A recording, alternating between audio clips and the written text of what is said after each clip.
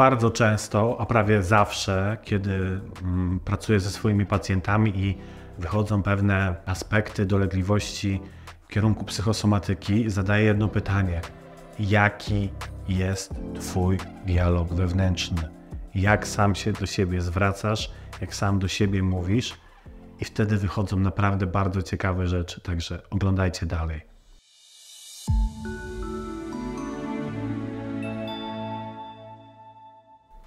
Ja nazywam się Mateusz Strujawski, na co dzień jestem fizjoterapeutą i pracuję z pacjentami, którzy mają bardzo często nieoczywiste dolegliwości z różnych przyczyn i między innymi bardzo dużo pracuję z psychosomatyką. Jednym z najczęstszych aspektów psychosomatyki, na który zwracam szczególnie uwagę i o który zawsze pytam moich pacjentów, jest dialog wewnętrzny. Jak mówisz do siebie, jak się do siebie zwracasz, jak sam z sobą rozmawiasz.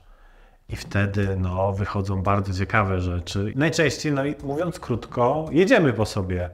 Czy mówię, że my jesteśmy głupi, jesteśmy niewystarczalni, jesteśmy brzydcy, grubi, za, za chudzi, za słabi, albo wręcz odwrotnie, tak? Za ładni, za bogaci, to też może pójść w drugą stronę, tak? Ten ładunek może, może być, że tak powiem, odwrotny, nawet jeśli w cudzysłowie możemy z tym słodkim możemy trochę też przesadzić czasem, ale jednak bardziej większym stresorem będzie ten ładunek negatywny, czyli jedziemy po sobie, tak?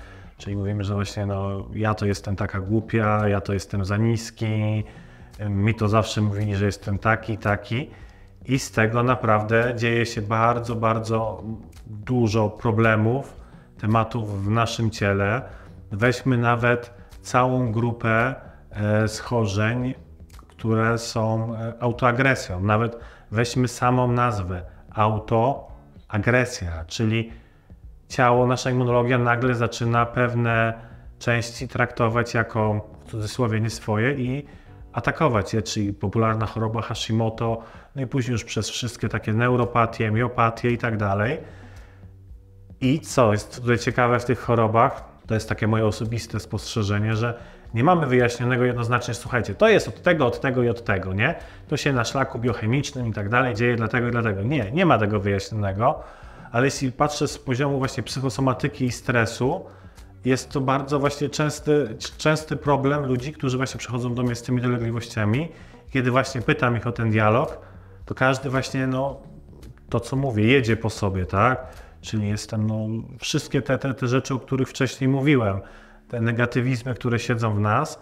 I tu warto byłoby się właśnie nad tym wewnętrznie nad sobą pochylić, zobaczyć w ogóle skąd to się bierze.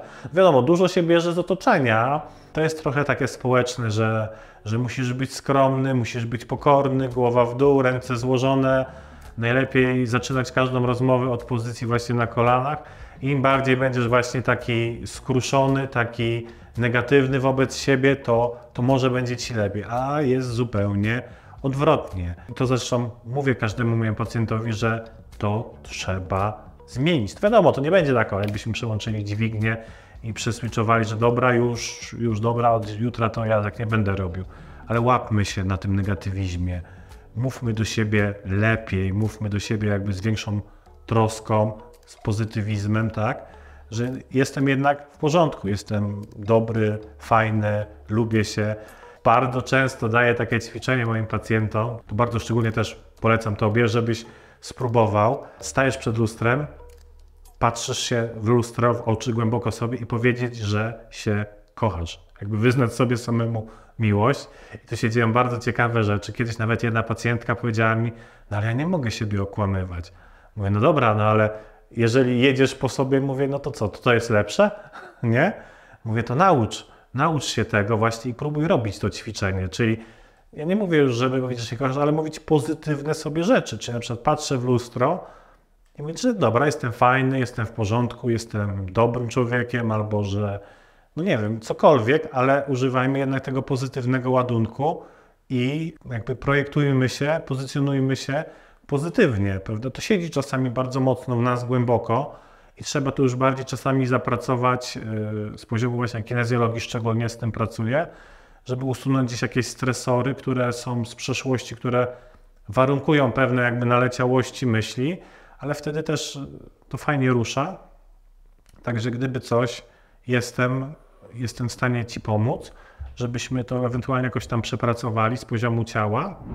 Napisz mi może pod spodem w komentarzu, co Ty o tym sądzisz, jaki w ogóle masz dialog, czy ten problem, czy ten sposób właśnie patrzenia, spojrzenia na, na, na te problemy jest u Ciebie taki, jaki jest Twój dialog wewnętrzny i co? Do zobaczenia w następnym odcinku. Cześć.